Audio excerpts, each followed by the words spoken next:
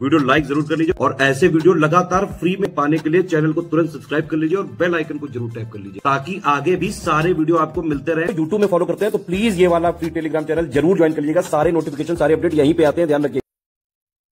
Everyone welcome to state PCS preparation by study for civil services हमने geography के session में earthquake के belts के बारे में डिस्कस किया था। आज उससे पहले थोड़ा सा रिवाइज कर लेते हैं क्विक उसका रिव्यू ले लेते हैं थोड़ा सा क्विक रिव्यू कर लेते हैं इसको और फिर जो है, हम आगे के सेशन में आज सुनामी पढ़ने वाले हैं, ठीक है?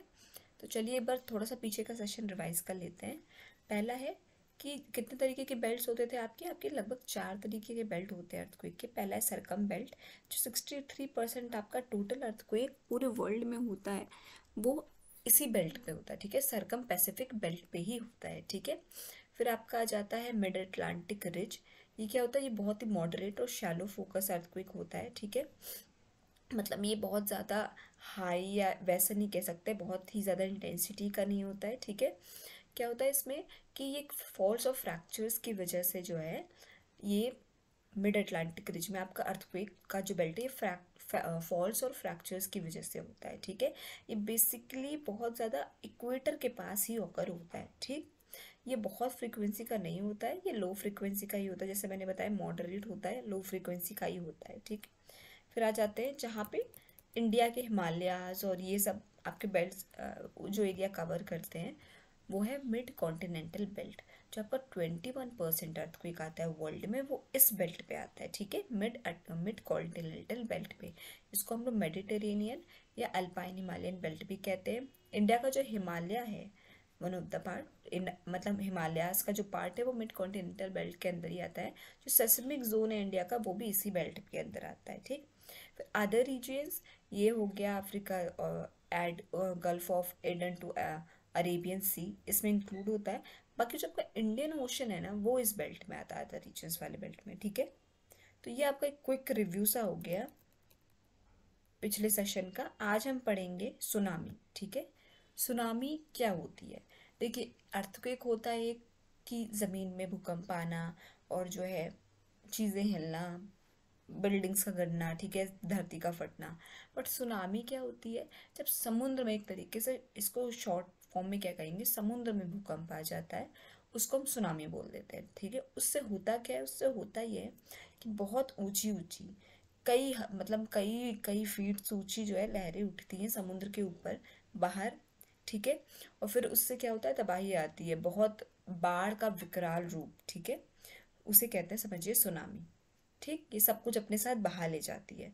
तो tsunami is a Japanese word in which tsu means stand for harbour nami means for waves ठीक?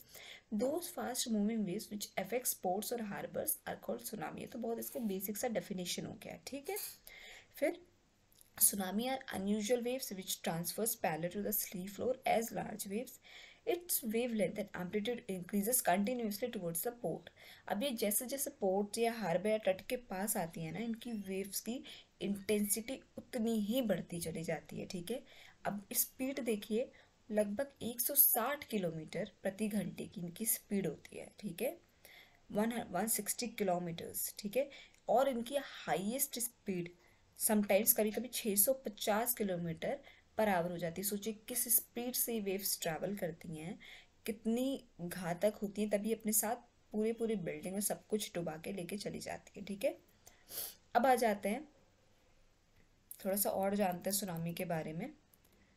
The magnitude of the earthquake was 8.9 और Richter scale causing catastrophic waves अब क्या है? 8.9 का जो मैग्नीट्यूड का जो अर्थक्वेक आएगा ना सुनामी में मतलब समुद्र में, वो बहुत ही बहुत ही एक्सट्रीम लेवल का सुनामी वेव्स ऑकर करेगा। मतलब उसकी जैसे 8.9 मैग्नीट्यूड का अगर ऑब्वियसली धरती पे भी आ गया तो भी बहुत घातक अर्थक्वेक है। इसी तरीके से समुद्र में आया, जो रिचर स्केल पे एट पॉइंट नाइन मैग्नीट्यूड का अर्थक्वेक अगर देखा गया तो सुनामी वेव्स उससे बहुत ऊँची ऊँची उठते बहुत तबाही होती है, ठीक है?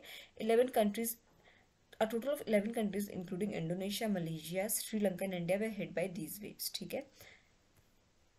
ये तो नंबर ऑफ़ कंट्रीज़ हो गई कि जो जो इस वेव से अफेक्ट हुई थी ठीक है?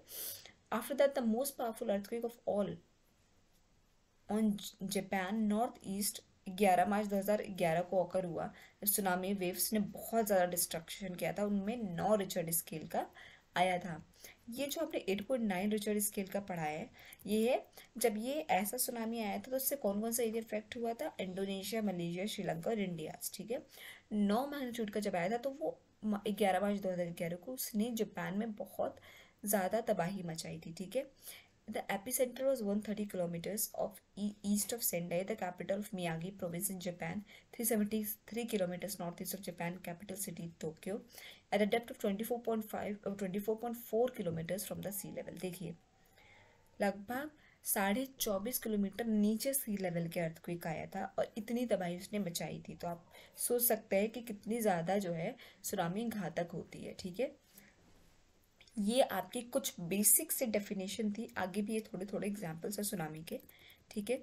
तो आई होप आपको आज का सेशन समझ में आया होगा। कोई भी डाउट हो तो प्लीज़ कमेंट सेक्शन में कमेंट करके ज़रूर बताइएगा। और अभी तक अगर आपने चैनल को लाइक शेयर सब्सक्राइब नहीं किया है तो प्लीज़ कीजिए और बेल बटन को प्रेस करना ना भूलिए। Thank you so much for watching